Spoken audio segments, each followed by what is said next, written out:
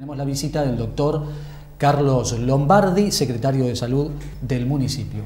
Carlos, muchas gracias por estar aquí. ¿eh? No, por favor, gracias a vos, Fernando, por invitarme y bueno, a tu disposición para lo que solicites. El tema es coronavirus, porque se está hablando muchísimo de esto desde hace meses, pero esta semana ha llegado el primer caso a la Argentina. Hay casos en estudio también, lo hemos escuchado al doctor Ginés González García el ministro de Salud de la Nación, hablando mucho sobre el tema, pero también hay mucha confusión alrededor de esto. Y nosotros queremos bajar un poquito el tono y decir, bueno, ¿qué se hace con todo esto? ¿Qué está haciendo el gobierno de Junín con un protocolo seguramente que hay ya previsto para que, bueno, se tomen las medidas si es que aparece algún caso por estos lados? Bueno, bien, como, como vos bien dijiste, esto indudablemente ha adquirido una repercusión mediática notable desde el 31 de diciembre del año pasado, que fue el primer caso reportado en China de coronavirus. Y se trata de, digamos, de una enfermedad totalmente nueva, si bien hay otros serotipos de coronavirus que han producido otro tipo de enfermedades con características bastante similares, pero este es un serotipo de coronavirus distinto. Para que la gente lo entienda, el coronavirus es un tipo de virus que puede provocar la mayoría de las veces y que está entre nosotros, no este en particular, que es un serotipo nuevo, puede provocar cuadros de vías respiratorias la mayoría de las veces leves. Hubo dos brotes en el 2013, el famoso SARS, que es el síndrome este, de eh, compromiso respiratorio severo, eh, que fue por allá, te digo, en el año 2013 y unos años después hubo otro coronavirus que afectó eh, a gente de Medio Oriente y que ahora aparece esta nueva cepa este, produciendo una enfermedad llamada COVID-19, como se ha señalado a este serotipo de virus, y que se lo desconocía y que dentro de las características que venimos analizando, que se ha dado por la presentación de los casos, con gran difusión, el virus eh, ha adquirido una capacidad de contagio bastante importante porque indudablemente lo que se lleva reportado eh, hasta ahora, que son casi 100.000 casos a nivel mundial, este, ha adquirido mucha mayor difusión que fueron los, que los otros anteriores. Pero sí con otra característica que también es bueno remarcarlo, que ha tenido muy, mucha menor mortalidad, porque la mortalidad no supera el 3% y en general a personas de edad avanzada, ¿eh? mayores de 65 70 años, la mortalidad. Fíjate qué, rareza que hasta ahora no han sido reportados casos de mortalidad en niños. Entonces, esta es una de las sí contagios. Sí contagios, sí, pero no casos de mortalidad. En la mayoría de los casos esto también es importante que se sepa, son casos de presentación respiratoria en general leves o moderados, como el paciente este que ha sido diagnosticado en la Argentina, que es un caso de una persona argentina que ha viajado a Italia, que hoy Italia es una de las zonas de circulación viral, sobre todo el norte de Italia, lo que es la Lombardía, lo que es este, Véneto, lo que es este, Em, la zona de Emiliana Carcaño, que son zonas que han sido comprometidas con un número importante de casos y mortalidad también que llevó a las autoridades italianas, por ejemplo, a cerrar todas las escuelas y todas actividades que implicaban espectáculos. Y con el fútbol en particular, no se suspendió el fútbol, pero se hace a puertas, se juegan los partidos a puertas cerradas. Que así lo que, por la TV. Exactamente, así que ha adquirido una, una trascendencia importante y en China ha llevado a una cuarentena, sobre todo de la ciudad que fue la precursora de esto, que indudablemente llevó a que las personas no pudieran salir. Hoy nosotros tenemos el primer caso y era esperable, porque esto ha sido declarado por la Organización Mundial de la Salud como una, este, una situación de emergencia de interés internacional, de emergencia en salud pública, de interés internacional, este, que todavía no podemos estar hablando de pandemia, aunque la definición de pandemia habla de una enfermedad nueva o desconocida que se distribuye a nivel mundial, todavía hay lugares que todavía no han tenido casos, pero bueno, tenemos que estar alerta, indudablemente tenemos que estar alerta porque es muy probable que aparezcan nuevos casos por esto de hoy que eh, la globalización ha llevado a que los viajes sean frecuentes y personas argentinas que visitan estos países con circulación viral, como hablamos Italia, China, se suma Corea del Sur, se suma Japón, este, como países con un compromiso y se suma Irán. Entonces todas esas personas que viajan de esos lugares y que presentan síntomas, porque acá es importante la definición de casos sospechosos. Casos sospechosos es aquella persona con fiebre y algún síntoma respiratorio, severo o leve, puede ser dolor de garganta, puede ser eh, rinitis o rinorrea, y no tener un gran compromiso respiratorio, pero sí tienen que tener nexo epidemiológico, es decir, haber estado en contacto con alguna persona enferma o venir de viaje de esos lugares donde hay circulación viral activa. Esto nos llevó a que el protocolo se pusiera en sistema de alerta, el Ministerio de Salud de Nación como de provincia manda las notificaciones y manda todo el estado de alerta como para que se normatice qué hacer ante un caso sospechoso y es lo que hemos estado haciendo en Junín. Primero tuvimos reuniones con las autoridades del hospital y región sanitaria tercera como para coordinar las acciones, sobre todo teniendo en cuenta que el laboratorio del hospital es el laboratorio de referencia a nivel regional, o sea, las muestras de las personas eh, que son consideradas sospechosos van al hospital y el hospital lo deriva a otro hospital de referencia, en este caso al Hospital Rossi de La Plata. Por eso tuvimos con las autoridades del hospital y de región la, reunión para coordinar. Y la semana pasada, este, desde la Secretaría de Salud, hicimos reunión con los equipos de salud de los centros de atención primaria como para este, conocer detalles de la enfermedad y saber cómo tenemos que actuar ante la presencia de casos sospechosos. Están en contacto también con las instituciones privadas, porque hay que tener en cuenta que eh, en general la gente que, o por lo menos el único caso que tenemos aquí y todos los que han estado eh, en contacto con esta persona, es gente que ha viajado. Sí, sí.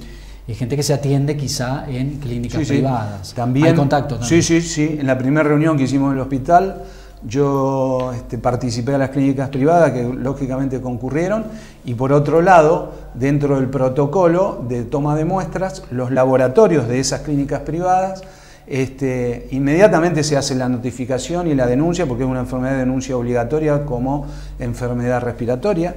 Este, inmediatamente la denuncia, toman las muestras del laboratorio de la clínica privada, nos hacen conocer a nosotros y nosotros disponemos del traslado de esa muestra al hospital. O sea que estamos permanentemente en contacto porque por otro lado, como autoridad sanitaria local, si hay un caso sospechoso, hay que hacer una actuación en los contactos, los contactos íntimos sobre todo, este, como para hacer un seguimiento de esas personas o si han viajado en avión, como sucedió en Capital Federal, contactaron a todos los pasajeros del avión que han estado por lo menos dos asientos eh, alrededor de la persona que tuvo los síntomas. Carlos, em, ¿Hubo más consultas en, Junín? Eh, ¿Tienen algún dato ustedes de gente que, bueno, se sintió un poquito con algún síntoma y fue más de lo habitual o no? En general, eh, no nos olvidemos que los síntomas que puede presentar son los de cualquier gripe común, de influenza y que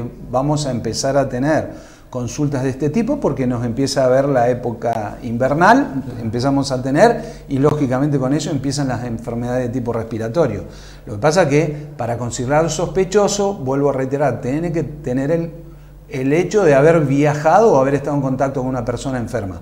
Sí lo que hemos estado en contacto a través de los representantes legales de la comunidad china, de las personas de, de Junín que forman parte de la comunidad china, estando atentos a si había algún miembro de esa comunidad que viajaba desde China como para estar haciendo el seguimiento necesario en caso de, justamente de ser necesario así. Así que estamos siguiendo por ahí ese hilo también. ¿Volvió alguno? Eh, volvió, volvió gente sin síntomas, pero de otra región ah, que no correspondía este, ni a la provincia ni a la ciudad que estuvieron en cuarentena. ¿sí? porque además no los dejan salir de... No, no, no, de ese lugar no los dejaban salir y estas personas no han presentado síntomas y estamos atentos ante cualquier eventualidad que, ocurra en ese sentido. Perfecto. Barbijo sí, barbijo no, porque este es un tema... Barbijo eh, tiene una indicación muy precisa el barbijo. El barbijo son, es para las personas enfermas, las que presentan sintomatología respiratoria, y para los miembros del equipo de salud que van a actuar con esa persona. A esto se suma si hay personas con síntomas. Lo aconsejable y lo que estamos nosotros llevando, eh, digamos, como protocolo, se lleva adelante en la Argentina es internar al paciente para hacer un seguimiento mucho más pormenorizado de, la evolución. En ese caso, eh, eh, el personal de salud que, que cuida a esa persona, lógicamente usa barbijo. Ahora, si hubiera en algún momento la necesidad de hacer algún aislamiento domiciliario de algún contacto, este, y ese contacto presentara síntomas, los convivientes tienen que usar barbijos, guantes y todo eh, y protección ocular porque el virus este, ingresa a través de gotas, gotas gruesas que se pueden ingresar por la mucosa oral, nasal y ocular. Por eso, cuando estamos engripados, uno de los consejos, además, porque acá la prevención es fundamental, la recomendación básica es lavarse las manos, o en su defecto usar alcohol para higienizarse las manos frecuentemente, antes de alimentarse, al haber tocado superficies que puedan llegar a haber estado contaminadas. Si nos tocamos la nariz, los ojos o la boca de una persona que tiene síntomas respiratorios, lavarnos las manos permanentemente, como así también la persona que va a usar barbijo no tiene que tocar el barbijo por la, por la parte de adelante porque también esto contamina y ese barbijo pasaría casi a no servir más. Entonces hay una serie de recomendaciones este, que las normativas parte, eh, eh, dan y en este caso puntual, porque tu pregunta apunta, la persona que no tiene síntoma, el ciudadano común, no necesita usar barbijo. Sí debemos cuidarnos con higiene respiratoria, de taparnos con el pliegue del codo al toser, de higienizarnos las manos, y de mantener una distancia no menor a dos metros entre personas cuando hay aglomeración de gente por la posibilidad de contagio a través del estornudo, de la tos y demás. Bueno, esto del, codo y demás lo hemos aprendido en la gripe A. Sí, sí, ¿eh? sí, sí, que me tocó vivirla también de cerca. Antes no teníamos ni idea de eso. No, no, no, no, es cierto. han sido todas medidas que son de fácil realización y que solamente necesitamos tomar conciencia. Por eso... Porque lo, único, lo primero que hacía uno era ponerse la mano. Tal cual, tal cual. Y después uno le daba la mano a otro y así, es, y contagiaba. Es usar el pliegue del codo o usar pañuelos descartables y en ese caso el pañuelo descartable descartarlo en un lugar apropiado, que esté cerrado y automáticamente después lavarnos las manos, porque eh, tocamos, ¿sí? Esto, esto es importante. De cualquier manera, si vos me permitís, no nos olvidemos que el dengue también está presente y, que es, y, que es, este, una realidad mucho más tangible. En la provincia de Buenos Aires tenemos un poquito más de, 150 casos confirmados de dengue. Este, hay un caso sospechoso en Junín, caso probable, que todavía no está confirmado por el laboratorio de referencia, pero bueno, también si bien en Junín ha sido un caso importado, en la provincia de Buenos Aires ya hay casos autóctonos, entonces no debemos olvidarnos del dengue, con todas las medidas preventivas. El mosquito está entre nosotros, el Aedes aegypti, que es el vector que transmite la enfermedad. Y también con acción peridomiciliaria de de no guardar este, o, recolectar agua en recipientes, tratar de que no se mantenga mucho tiempo, de usar repelentes en las casas, evitamos la picadura del mosquito y por consiguiente estamos dando un paso preventivo por el dengue, pero el dengue sigue siendo importante para nosotros porque está ahí alrededor de, nuestros domicilios. Sí, lo apunta, lo apunta mucho también Ginés, eh, el ministro de Salud de la Nación, se le fue a yugular este, porque había dicho que era más importante el dengue que el coronavirus, pero en realidad hay muchos más casos de dengue en eh, Argentina, que de coronavirus. Hay que estar atento con esto y hay, dijo, 3 millones de casos de afectados en Latinoamérica. Sí, sí, sí, sí, Antes era una enfermedad casi privativa de eh, Brasil, de, la zona de Paraguay y, de parte del norte nuestro pero hoy lo tenemos en la provincia de Buenos Aires. No es que sea más importante que el coronavirus, porque